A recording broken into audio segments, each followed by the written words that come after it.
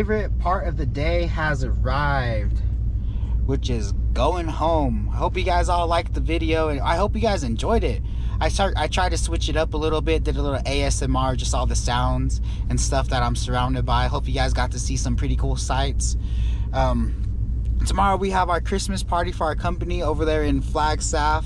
I'm not too sure if we're going or not. Um, if we go, that means we got babysitters. If not, then no babysitter, which is no big deal. Um, everybody, you guys stay safe out there. You guys enjoy the weekend.